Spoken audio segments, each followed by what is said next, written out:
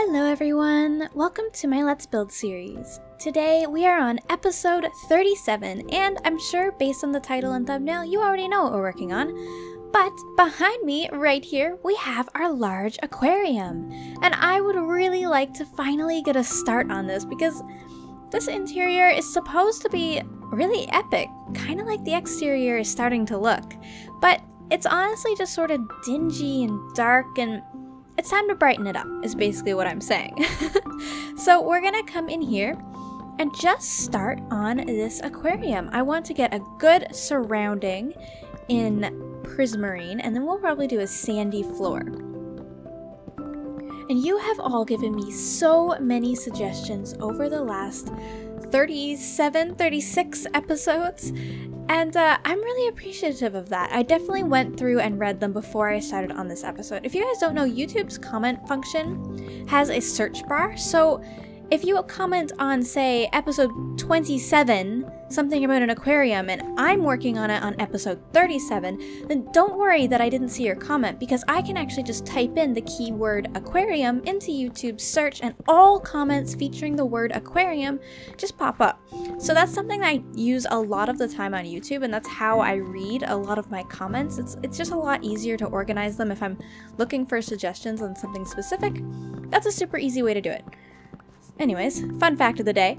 Uh, we're gonna start by clearing this out. I wanna do a sandy bottom, but you'll see this is a very tall aquarium. So it's gonna be kind of boring if we just do a flat bottom.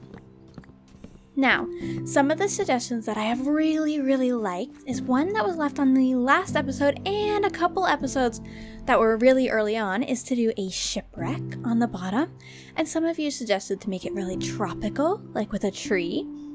And I think we have lots of room to do both of those things. So we're going to start down here on the bottom. First of all, I think we're going to sink this down a little bit and get it surrounded in prismarine just to make it look like it's blended in a little bit more. By the way, don't worry about this axe that I have. This right here, 20 durability, I have one to replace it. This one's too expensive for me to repair right now and it's, it's not worth it. We have a whole XP farm and I have a mine for diamonds, so I'm really not worried about the axe. So don't worry, don't worry. I know some of you don't like it when my tools are about to break. Alright, that's already looking a lot better just with that border in. I think we may do another slab border around it, but we'll decide when we do the interior decorating around here what exactly we want to do. That's not super important right now. Right now, I would sort of like to build this up a little bit right in the center. So maybe like a little hill right here. And then on the side of that hill, we'll probably do a little shipwreck on this bottom part. I think that's sort of how I want to do it. Wow, we're gonna need sand. Yeah, okay, I'm glad I have some. I also am probably going to have to go get more sandstone because that's what I'm going to use in a lot of this aquarium because, well, sand falls and that's not convenient. I need something that's not going to fall and get in the way and come down here because it needs to float all the way up there. Alright, now that the base layer of this terrain is in, it's time for the scariest and what will probably be the most difficult part. We need to fill this entire aquarium with water. Now obviously we're going to use kelp for this, we're not going to try to get source blocks by hand, but even still, this is quite a daunting task. Uh, let's see if I have any buckets. Alright, I found all of my buckets that I have made. This should be enough, I think. And uh, now I'm just gonna zip all the way up to the top in our little elevator and start placing it in. I really hope this goes well. this is already kind of cool though. Look at the view from in here. this is so funny. I can't wait to see what it looks like filled with water. Alright, here's what our aquarium looks like filled with water. This is definitely a case of something having to get worse before it gets better, because just got so much darker.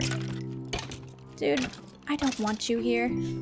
Thank you, thank you. Okay, so now I'm basically just gonna come in here, get the lovely conduit effect, and start filling it up with kelp. This should be a lovely process. I'll let you know when it's done. Okay, you've got to admit this is pretty cool though. Look at the view our fish are gonna have. Ooh, and look at that. Oh no. Okay, so need to fix that. Good to know. Um Okay, well I think I, I'd rather work on the kelp, personally. Alright, so here's where I'm at so far. I've got this entire aquarium filled with water and also filled with kelp. This was really challenging to do, I'm not gonna lie. It took a while, but I don't mind because today is actually a snow day. So if you hear any weird background noises while I'm recording right now, it's the wind. There's a really bad winter storm happening, so I'm gonna sit back, relax, and play some Minecraft. Um, I guess it's time to create a bunch of entities and get rid of all this kelp. Oh, this is gonna be so satisfying. I have a feeling I should do it in pieces because this is gonna really lag. There's like two and a half inventories worth of kelp in this. Like it doesn't look much, but this is so incredibly tall. Like this is a lot of kelp. oh, I kind of want to just break it all at once. Let's do it. Why not? What's the worst that can happen? I destroy my entire world? oh, it's so laggy. Oh, look at it though. That is satisfying. Okay, I'm not gonna do it all. I'm seriously worried about crashing. Alright, now that all of that pesky kelp has been taken care of, it's time to actually get to work building in here. I would like to start over in this corner where I'm going to sort of build up this sort of mountainous area. Not really mountain, but this little kind of rock formation that's been kind of built up and then worn down by all of the waves and everything. Or at least that's what it'll look like, I hope. That's not too bad. You sort of get the point. I'm going for things that are a lot more vertical because we have so much vertical space and not a whole lot of horizontal space. So I want these pillars to be kind of reaching up. I'm going to do the other one even taller. So we'll have one right here and one right here. And this one's going to reach way up, probably a few blocks higher, even to right here. And then in the center, we'll do a shipwreck. And then up above that, I want to have like a floating island. And the floating island is what will have our tree on it, our little coral tree. Yeah, I think that's a fantastic plan. I'm gonna go put it to action and go grab some more sandstone. Alright, so I've taken a little break between this clip and the last and gone ahead and created some of these little sandstone structures. I sort of like the way that these are turning out, and I think I'll work on the sort of floating one next. So I'm just going to come to roughly the center. I think that's the center right there. And build this up to where I think I would like to start the floating island, which I think will start right here at the base, because I'd like it to sort of just taper up a little bit. That'll be sort of nice. I actually have some really exciting news that I'm living through right now. At the time of this recording, we have not yet hit 50,000 subscribers on this channel, but we're about to. I'm currently recording this on February 26th, which is a Tuesday, and we are currently nine subscribers away from 50,000, which is just so incredible. Thank you so much to everyone who has subscribed to this channel. I mean, that's such an insane number to me. I'm so proud. Ugh. Thank you so much. I'm so excited for the celebrations that we're going to have. So this is a little bit weird because you guys are in the future right now. I'm in the past. But basically on the day this goes live, I think, if I get it done in time, I'm going to be making an announcement in how I am going to be celebrating hitting that 50,000 subscriber milestone. So if you would like to get involved in that, make sure you're in my Discord server or watching my community post. But my Discord server is definitely the best way to be involved. So I'm going to be announcing everything there and how we are going to celebrate. And I'm super excited to do it, so definitely, definitely tag along if you can. Okay, let's sort of swim down and see what that's looking like. Hey, that's not bad actually.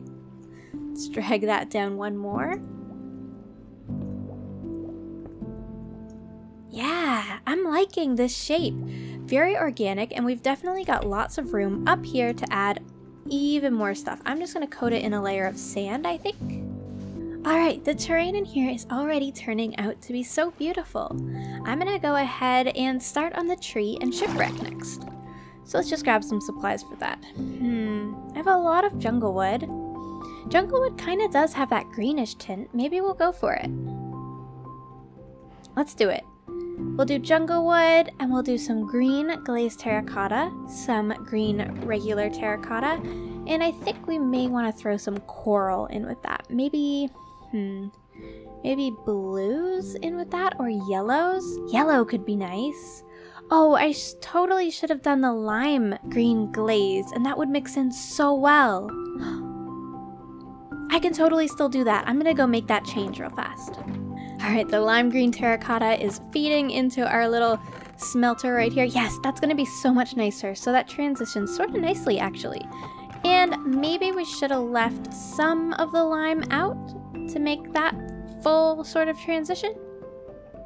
Yeah, I'm gonna do that. We'll leave, we'll just leave 60 now. I can make more. I have lots more lime dye and lots more terracotta. The other thing I really wanted to think about while I'm down here is a good way to get vines to sort of hang from this tree. And the more I'm thinking about it, the more I can't figure it out. The only thing I can figure that might be waterlogged is maybe glass panes, but I haven't actually tried that. I'm actually just gonna grab these four regular glass panes and see if they'll waterlog real fast. Let's just run out here and place one. Oh, they do! Okay, so that may actually work. All right. Uh, come back. Thank you. All right, so I'm to grab some uh, yellow or maybe lime green glass pans. Yeah, lime green probably would be best. And we'll use some of those. All right, here's what our aquarium looks like from the outside so far. Obviously, I mean, it's looking a little bit dull, but we have literally nothing in here yet, so let's get to work before we judge it too harshly. Let's start up here by marking in the base of my tree. And I'm to mark out some simple roots. Maybe I'll hang some down over the side. Oh, maybe we could have some tucked down here as well. Like it's sort of coming out of the rocks a little bit. Like maybe right here and then right here. Oh, I definitely need an axe. I'm just trying to spread out these branches as much as I can because we don't have a ton of horizontal space. So it's a little bit of a challenge, but I think I'm getting a shape that I'm sort of okay with. It's definitely a lot of breaking and then placing again to get things correct. Alright, I think I'm happy with the branches at this stage, so it's time for me to grab my leaf blocks. Uh, I think I may actually want some dirt here too, because I have to spread these out properly, and this is where things get a little bit tricky. I think towards the top, I'm definitely going to be using lots of these darker blocks on the tops of these branches.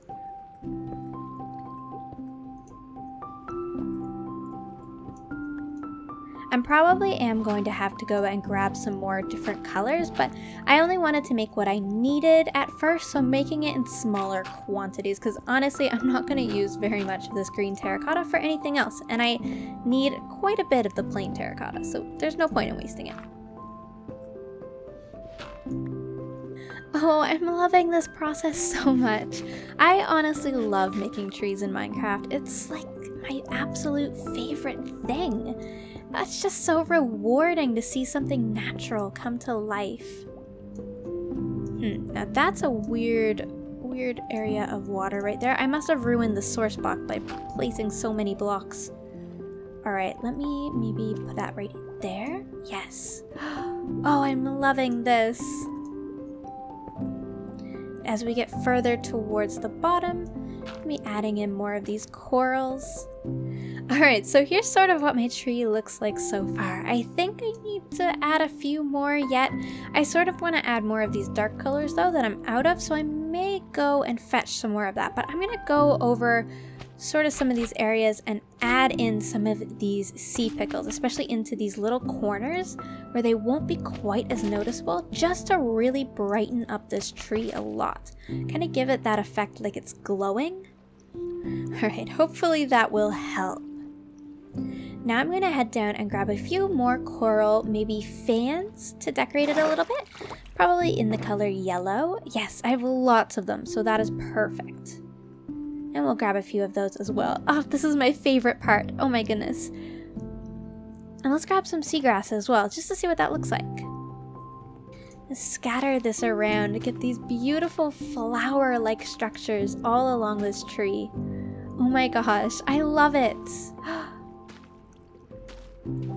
we'll put a few of these wavy grass around as well to give some motion. Yes, perfect. Oh, I love it. Oh, coral makes me so happy. All right, now let me see what these vines are gonna look like. Just to have something sort of dragging downward a little bit. Not sure if I'm gonna like it, but if I don't, I can always just remove it.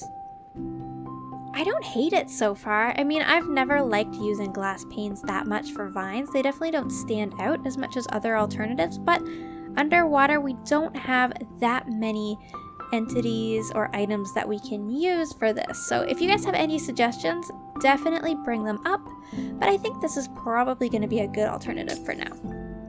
All right, there it is. There is our underwater coral tree for the aquarium. That's pretty awesome so far. I'm gonna head down below now and see what that looks like on the outside, and then we'll get started on the shipwreck. Oh, and we need to sleep. Alright, so for the shipwreck, I've grabbed some of this spruce wood. We're gonna kind of lay this down here. I'm hoping I'll be able to make it look like a shipwreck. Honestly, I've never really had to build one of these before. I'm not sure entirely how. I'm gonna try to make it look really broken open, I guess. Like there's lots of wood laying around and we'll probably do a sail in the center. That'll probably help to give it away if I struggle. So we'll have that coming up and where's my dirt? Right there. We'll have it like tilt over and then tilt forward a little bit like so. That might be too high. Uh, no, that actually may have worked if we did it like this. Alright, so I haven't got a lot of room to work down here, and honestly, that is causing me to struggle. So this is basically like the back half of a ship, almost. So I've kind of curved it up back here a little bit with stairs. And I've added this leaning pillar here and I just hope it looks something like a ship. Maybe, maybe. Oh boy. it's kind of rough. Honestly, from out here through the glass, that sort of silhouette of a shipwreck doesn't look too bad. I think once we get this place a little bit more filled with life, it may look better, but definitely let me know if you have any suggestions in the comments on something that I can do more effectively in this amount of space.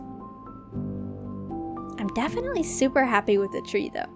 Okay, now I'm to plant a few of these kelp around to grow and give us lots and lots of life around here.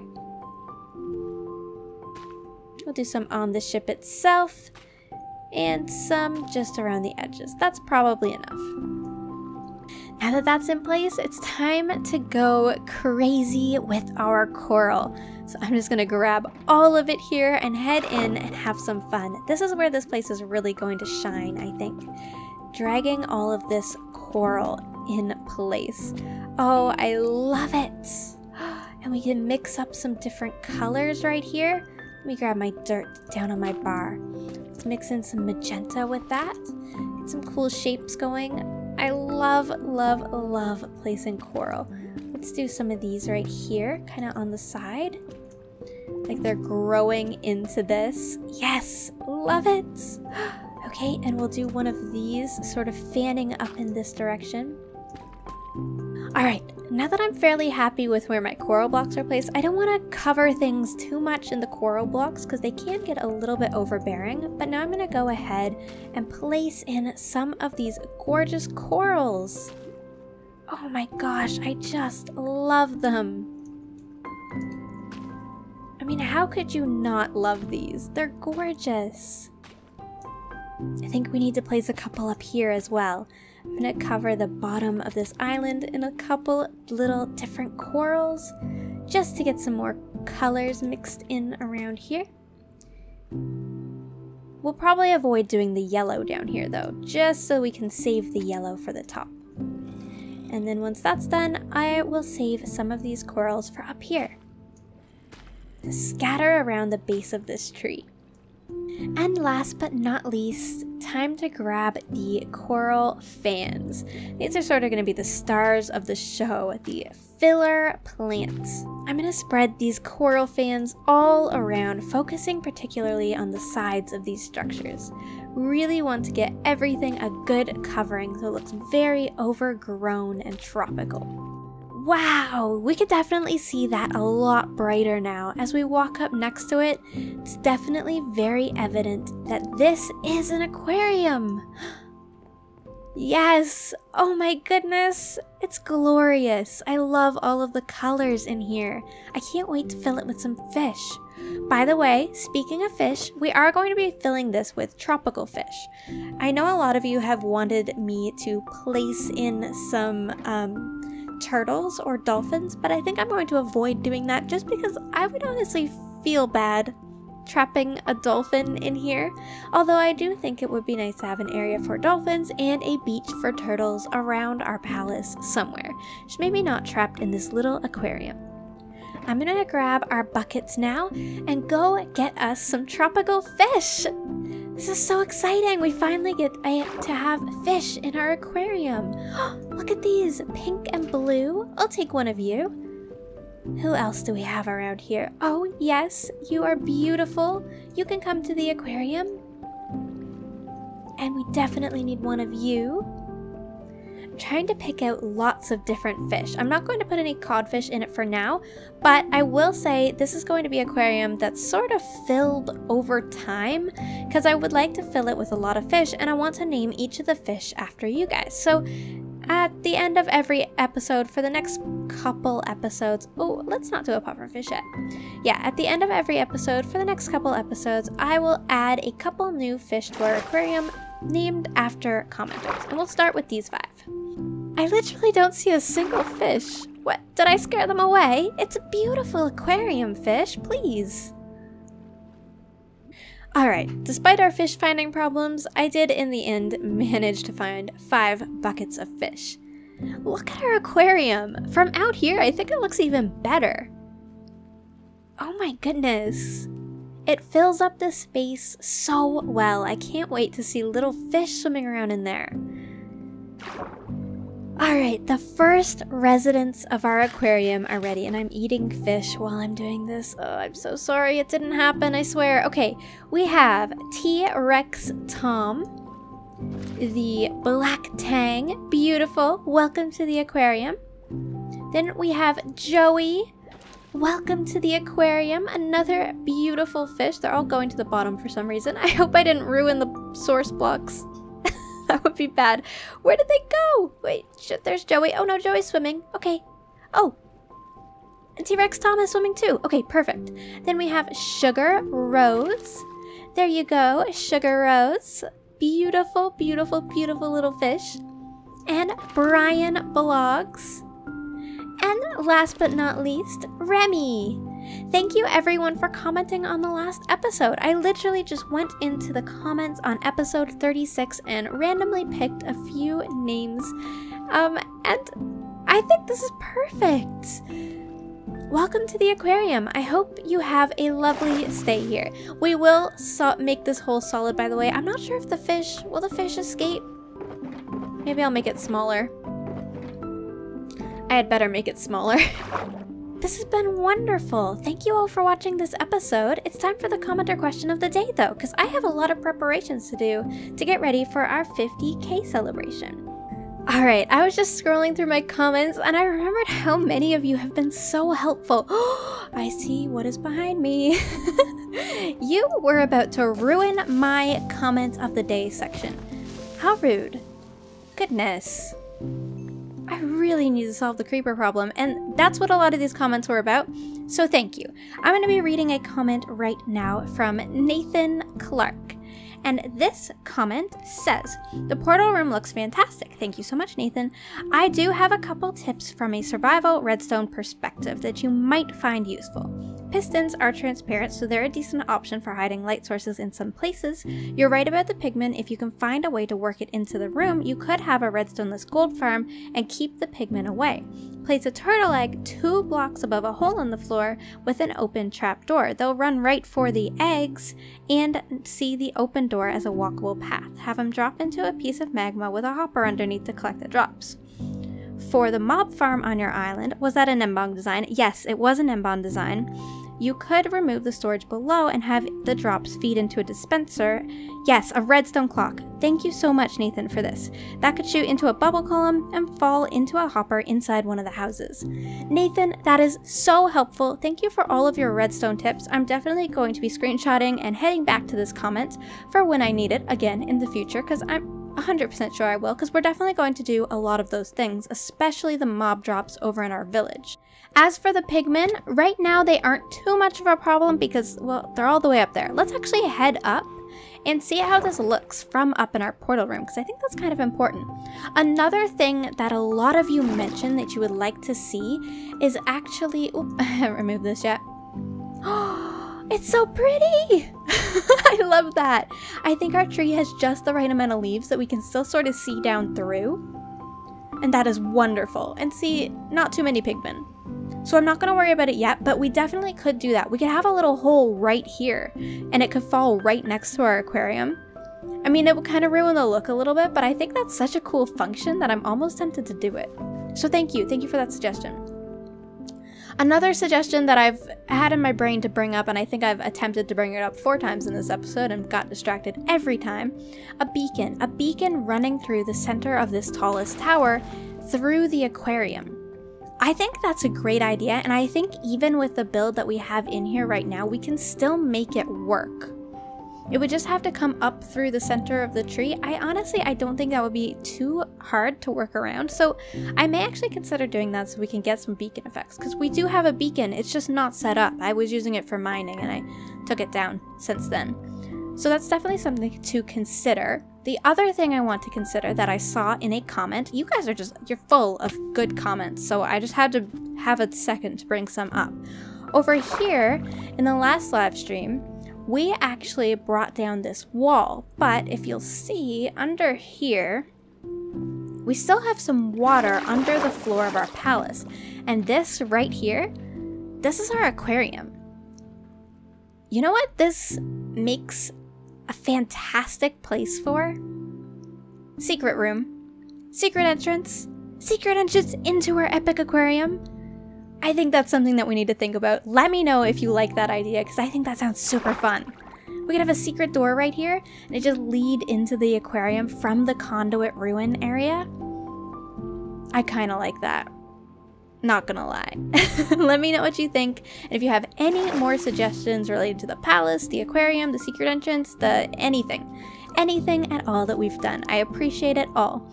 Thank you so much for the support, and thank you so much for 50,000 subscribers. I haven't hit it yet at the time. Let me tell you what the count is right now. It's really close. I'm really excited. what is the count? It's loading. Oh, please, internet. Five. We're five subscribers away at the time of recording this. Oh, that's so exciting. Thank you so much. And I will see you all in the next episode. Bye bye. Thank you.